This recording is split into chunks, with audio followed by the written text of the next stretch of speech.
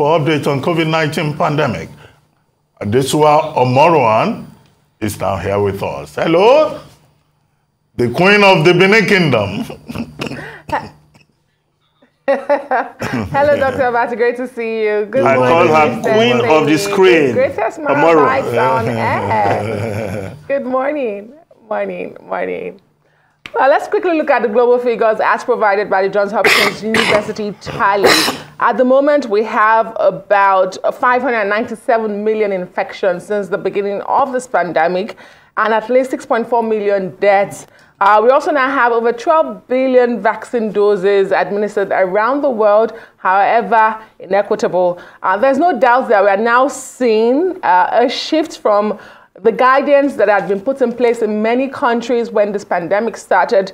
Uh, countries are opening up. Uh, to some, it's pre pandemic level all over again. But the WHO is still warning that this is still a pandemic. Hey, Nigeria, what are the figures? Well, officials reported 178 new infections between August 20 and August 22. And of course, uh, vaccination agency, the NPHCDA, also put out some figures.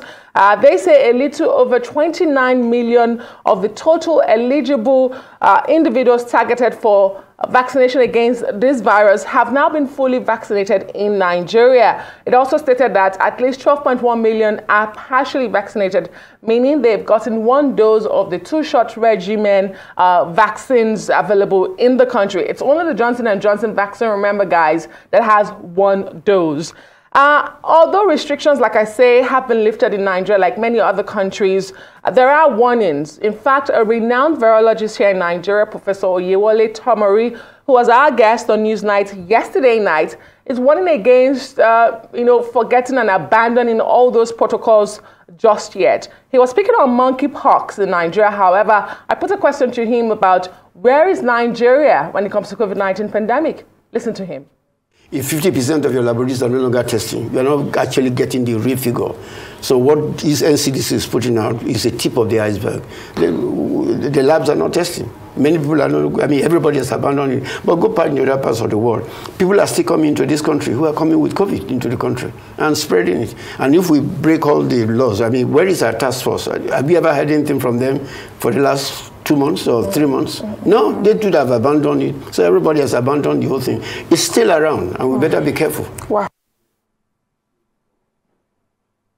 We better be careful. Those are the words of Professor Oyewole Tomori, Nigeria's renowned virologist. Let's go to China.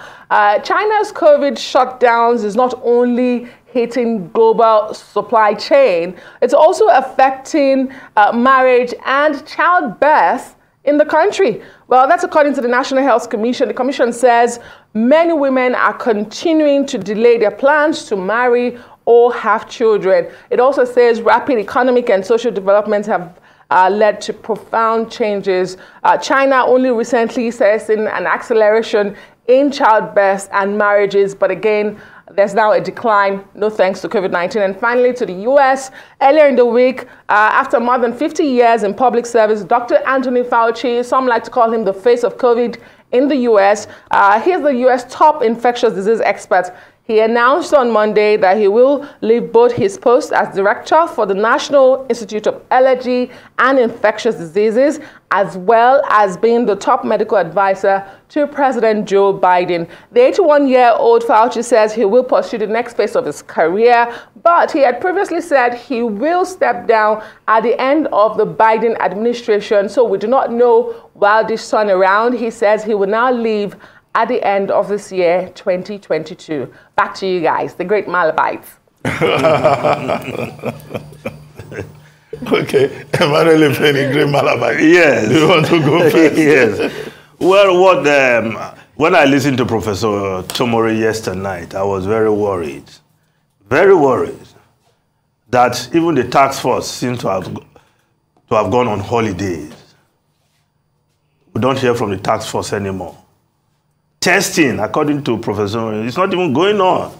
We just get some data two weeks old and and we give uh, that as a figure current. Yet, in other climes, in other parts of the world, they still they are still taking this very seriously. There's still infections and people are crisscrossing the globe, including Nigerians who travel a lot. And people want to visit Nigeria, yet we are not doing enough testing, or testing seems to have gone, uh, left to lab scientists to continue the experiment. I think it's a sad story, and uh, we need to ask, where is the task force? Is it because we are not spending billions again that nobody's interested?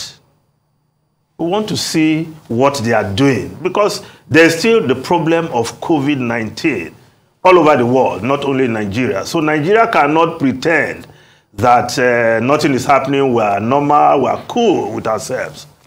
And uh, there's been the campaign for Nigerians to go for uh, the vaccines. Even at the peak of the pandemic, many were weary to go and take uh, the vaccine, let alone now that government is not even showing enough commitment. So the commitment must be sustained and reawakened by government. So wherever those task force members are now, they should be reminded that it is not over because their counterparts in other parts of the world are still very busy. Reuben. Yes, well, Professor Tomori is, um, you know, uh, right on point. And he's been very consistent uh, all through this pandemic in drawing attention to the need for continued vigilance. As recently as June uh, this year, he still pointed out that nobody should be under any illusion that COVID has disappeared. So, uh, Nigeria still allows people to come in. Uh, we're not doing enough testing. We're not doing enough surveillance. His big argument is that whereas other countries may be lowering uh, restrictions, people may not be going into quarantine. The truth is that countries like us, like Nigeria, that depend on donated vaccines, cannot go and be emulating developed countries that have all the facilities and resources. And his recommendation, as recently as June, is that look, those non-medical uh, interventions, wearing of masks, uh, you know, keeping distance, you know, trying to avoid Wash unnecessary exposure, safety, Wash and all of hands. that. That, that is our best bet. And that's perhaps, you know, one argument from Professor Oyewale Tomori that nobody can take away from it. So even if government lacks capacity in terms of surveillance and testing, then of course you as an individual can protect yourself. And that is also consistent with the position of the World Health Organization that has been saying again, like Professor Tomori, that this virus has not disappeared. Across the world, we still have the BA4, we have the BA5. Uh, China uh, uh, has continued to apply its uh, zero COVID uh, uh, policy, shutting down its projected 5.5 growth you know, out, outlook is already affected. Uh, uh, China now, in terms of outlook, is saying where well, we are expecting good economic results because China too is not too sure. In Marshall Islands, in the Pacific Ocean, you know, that, those, that collection of uh, islands, last week, they had uh, up to about 7% uh, rate of uh, infection. David Kabua, the president of, of Marshall Islands, had to issue an emergency declaration to be able to have access to funds to address the crisis. So in many parts of the world, this problem remains. And so, you know, I hope there will be people listening uh, to Professor Yewali Tomori. Uh, now that all of us have relaxed, uh, we go to parties every weekend, everybody is hugging everybody. Uh, people are just, uh, you know, having that primitive uh, primordial thinking that a black man can survive anything. After all, something must kill a man. I hear people saying every, every day. But this is public health, and it's a serious issue. Now, as to uh, uh, the professor, Anthony Fauci, uh, who is retiring, he has announced that he'll be retiring by December. Well, he's been in the uh, medical public space for about uh, 50 years, uh, 38 years as head of the National Institute for Allergy and Infectious Diseases, the NIAI uh, in the United States, and he's been, you know, uh, in that space also as a professional uh, for 50 years.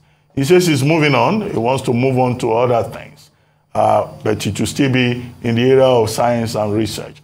But many will remember him for his wisdom, his integrity, his commitment, at the point where he became the face of the battle against the COVID pandemic in the United States. And he, he, he, dis, he, he, he acquitted himself honorably, you know, as a man, uh, you know, who would not uh, abandon science for politics. You recall his uh, regular encounters uh, with uh, President Trump, who even publicly, on one occasion, yeah. threatened to sack him, and who always openly contradicted him. Uh, but we remember Anthony Fauci, you know, U.S. top infectious diseases expert, as one man, you know, who stood up to the bully, you know, in the White House to say that, look, science is more important than people's uh, emotions. And it's just as well that he has had excellent relations uh, with President Joe Biden, who him. Uh, he will be remembered also in terms of his service as a very distinguished American. After all, in the course of his career, he won the Presidential Medal of Freedom, the highest honor that could ever be bestowed on uh, any American citizen. So we congratulate him on his service to the Americans and also, by extension, to humanity. Thank you, Adesua.